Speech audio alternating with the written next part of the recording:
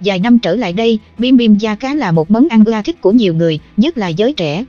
Miếng da cá với hương vị béo ngậy, thơm ngon và giòn tan được tẩm ướp gia vị đặc biệt khiến người ta chỉ muốn ăn mãi không ngừng. Vì vậy mà chuyện bỏ ra cả vài trăm nghìn chỉ để mua một gói bim bim da cá Singapore nổi tiếng là việc vô cùng bình thường. Tuy nhiên đôi khi giá cả và danh tiếng chưa chắc đã đảm bảo chất lượng sản phẩm. Tình huống mà anh chàng bờ tờ gặp phải với gói bim bim da cá đến từ một thương hiệu nổi tiếng của Singapore dưới đây là một ví dụ. Theo đó, anh bờ tờ kể lại khá ngắn gọn. Nát da thật sùng. Ăn bim bim trúng ngay giải độc đắc. Một chú thật sùng Singapore được tẩm ướp gia vị,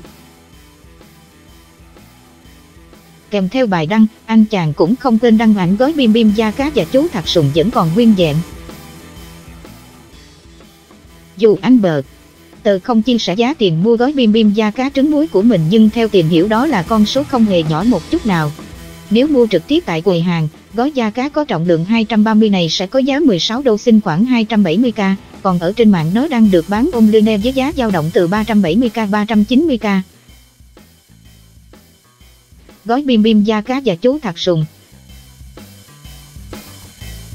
Gói bim bim da cá của anh bờ tờ đến từ thương hiệu rất nổi tiếng và nhiều người yêu thích ở cả Singapore lẫn Việt Nam nên phía dưới bài viết, dân mạng đã để lại vô số bình luận. Trời, nát la thích của em. Mình ăn thấy bình thường lắm luôn chứ có ngon đâu mà xếp hàng đông thế không biết. Mua về cho cả nhà và bạn bè ai cũng chê dở và nhanh đấy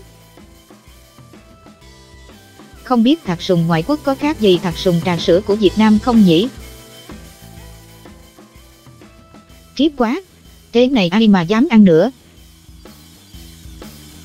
Thương hiệu này đã từng dính phốt có thạc sùng trong gói da cá hồi đầu năm nhé các bạn ơi. Còn lên cả báo đấy nên chuyện này hoàn toàn có thể xảy ra luôn. Bình luận của dân mạng trước vụ việc của anh chàng bờ. Trời! Nhiều người cũng khuyên anh chàng nên phản hồi với nhãn hàng về chuyện này. Trước ý kiến này, Bơ Tờ đã làm theo và cho biết, cảm ơn mọi người, người thân mình đã gửi email lên hãng và cũng đã nhận được phản hồi.